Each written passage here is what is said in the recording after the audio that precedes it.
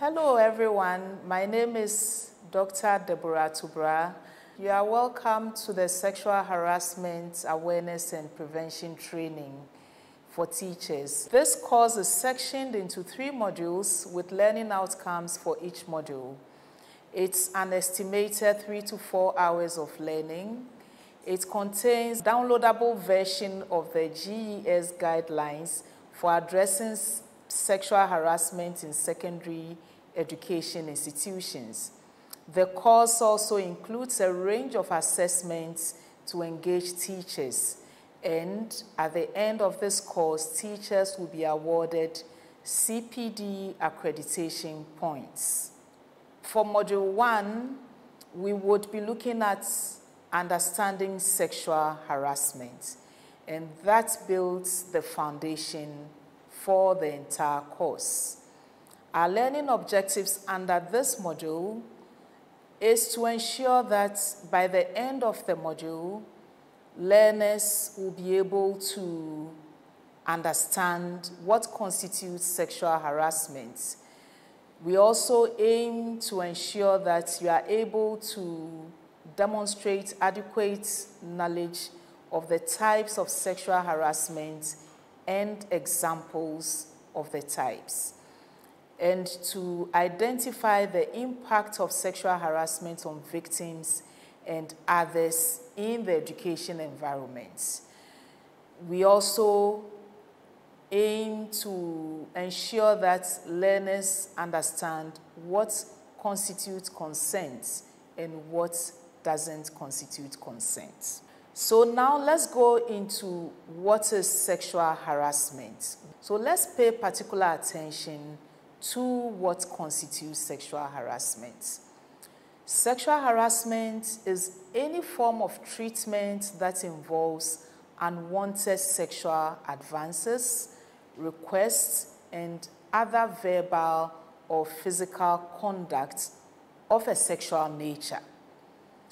And for the avoidance of doubt, any conduct of a sexual nature that is unwarranted by an individual that constitutes sexual harassment. And also, a conduct must be sexual in nature and be unwanted or unwelcome to be described as sexual harassment. So, take notes of the key words. The conduct must be sexual in nature, it must be unwanted or unwelcome to be described as sexual harassment. And it's important that we also go through the GES guideline for addressing sexual harassment in schools. So let's do a very quick run through the Code of Professional Conduct of the Ghana Education Service. And this code states that no employee shall directly or indirectly be involved in anything that may constitute sexual harassment of a people or students. So remember, we've already gone into the construction of sexual harassment, and by now you know what sexual harassment is. Secondly, the code also stipulates that any staff who has carnal knowledge of any female or male pupil or student of any age, with or without his or her consent, shall be guilty of professional misconduct. Thirdly, no staff shall, under any circumstance, show any form of inordinate affection to any pupil or student. And inordinate affection implies that implies the expression of love or likeness with ulterior motive. Fourthly, no staff shall have any carnal knowledge of any pupil or student in his or her own school or in any pre-tertiary educational institution with or without his or her consent. Now, let's go into the types of sexual harassment. First, hostile environment sexual harassment. This is unwanted sexual conduct that makes a student or staff member's environment unpleasant or uncomfortable.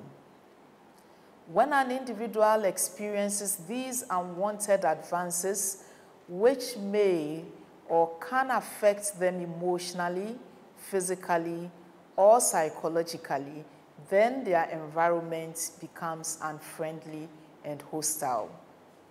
Examples include unnecessary and unwanted pet names such as sweetie, baby, girlfriend, boyfriend, my wife, my husband, etc. There are also unnecessary and unwanted nicknames which are usually based on physical features of the individual.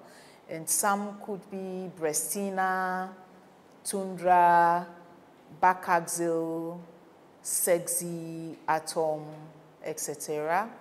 Another example is intrusive sexually explicit questions or asking personal questions about a person's sexual life, such as their sexual preferences or how many times they've had sex.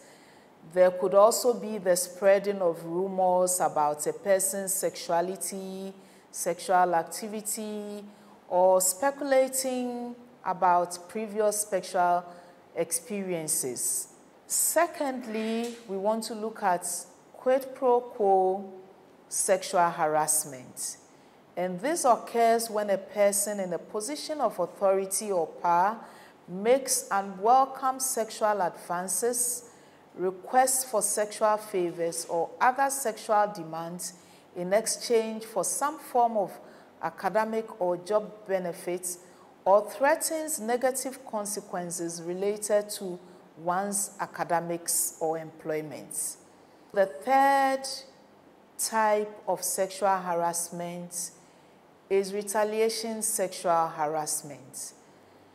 This happens when an individual encounters unfavorable consequences following their refusal of sexual proposition or advances, or reporting harassment, or aiding another person in reporting a complaint.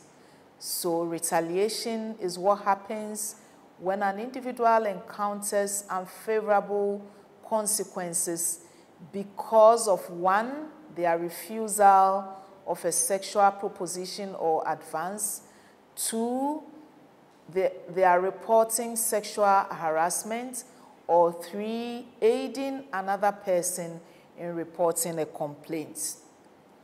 Sexual harassment manifests in numerous ways. It can be verbal, physical, visual or audiovisual, and in recent times, sexual harassment occurs via internet or in the cyberspace. So, having looked at the three main types of sexual harassment, we now want to look at the impacts of sexual harassment. And many do not appreciate the dire consequences of sexual harassment. So, we ask ourselves what are the impacts of sexual harassment? Sexual harassment can have very profound and damaging impacts on individuals, organizations, and society broadly.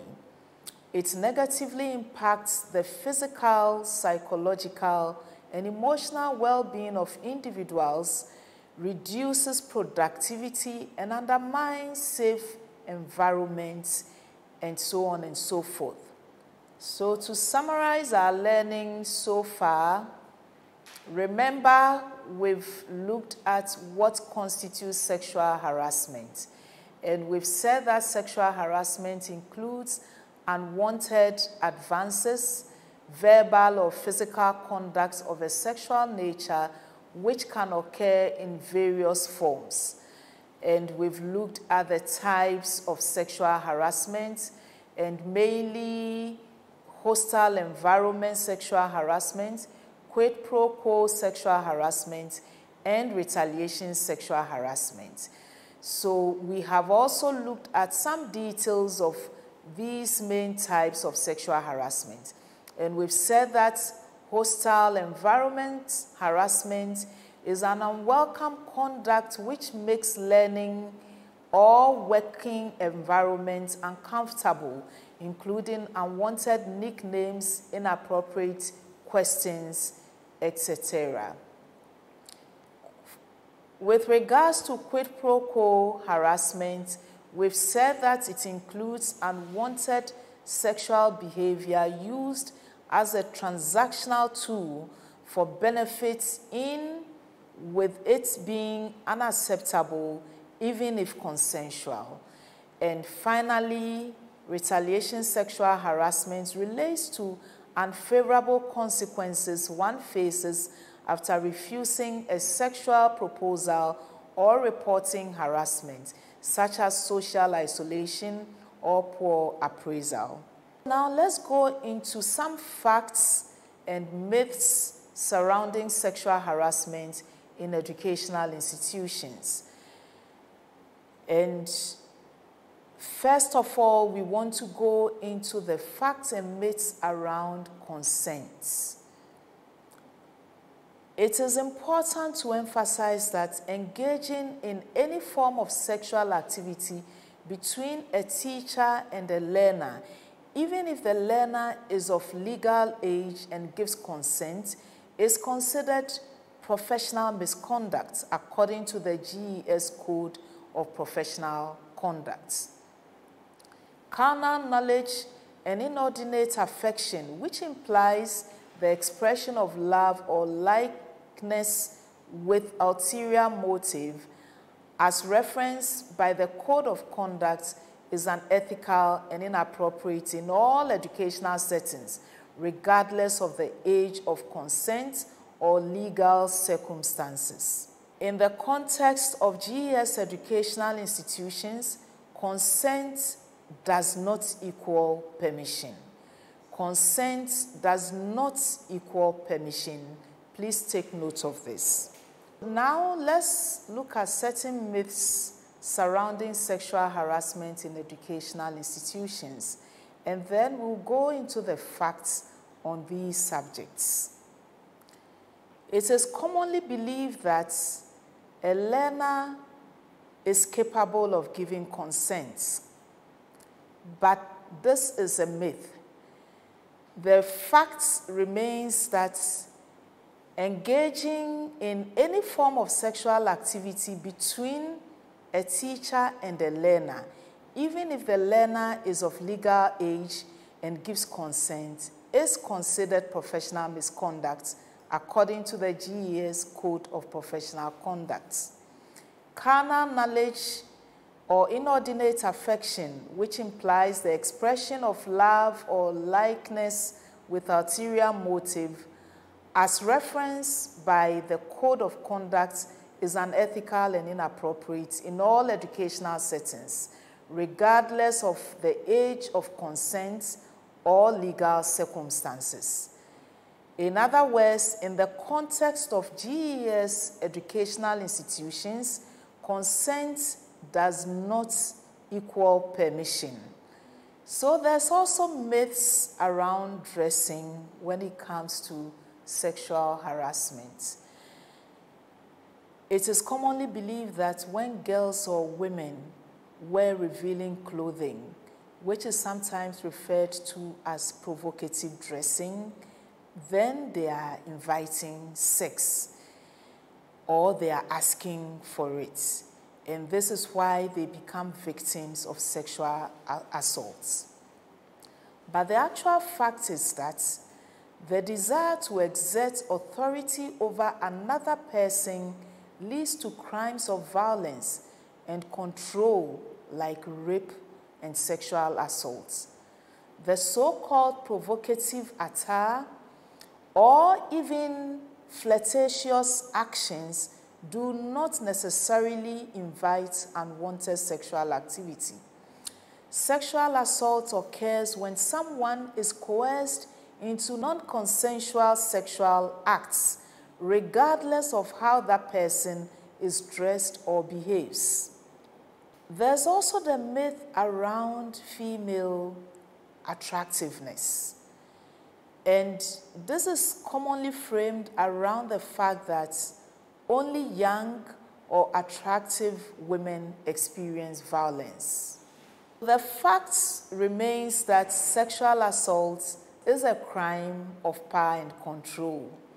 Perpetrators frequently pick victims they believe to be the most open to attack and over whom they think they can exert control over.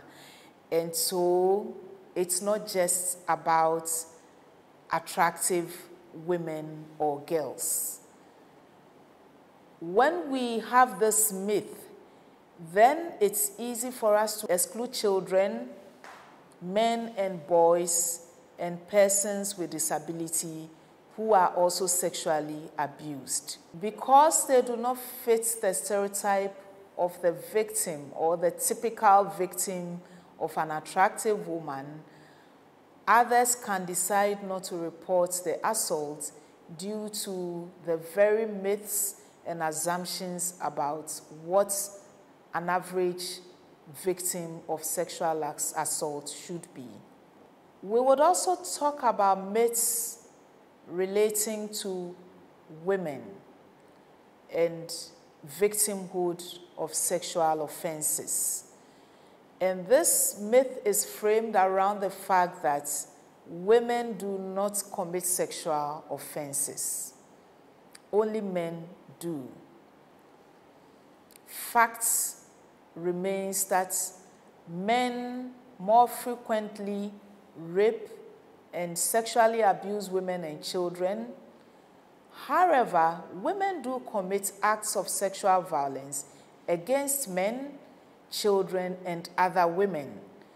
Therefore, believing and listening to all victims and survivors is important. The culprit always bears full accountability, shame, and blame, regardless of who they are. Next, we'll look at the myth around yes or no.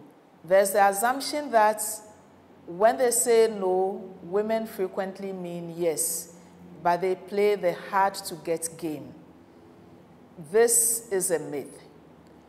The fact is that regarding sex, women and girls should always be believed, just like men and boys are. Everybody has the right to alter their mind when engaging in sexual activity, and only they have the authority to determine what they desire. So respect someone's preferences if they say no. Finally, we'll look at a myth also around the assumption that harassment will go away if you disregard it, or harassment will stop if you disregard it. The fact is that it will not go away. According to research, ignoring the conduct is unsuccessful since harassers typically do not cease on their own. Moreover, ignoring such behavior can even be interpreted as support or encouragement. Therefore, harassment must be stopped. And so we have looked through the myths and it's important for us to know that these myths are not real and they must not be used as excuses for harassment. We should take note of the facts around dressing that a woman or is not justified to harass because one is dressed in a particular way. We should take note of the fact that victims of sexual harassment are not only the so called attractive women, but children and others may be also victims of harassment. We should take note of the fact that when a woman says yes, she means yes. And equally, when she says no, she means no. No, it's not the same as yes we would now transition to take some fun assessments to see how we understand what we have been doing so far.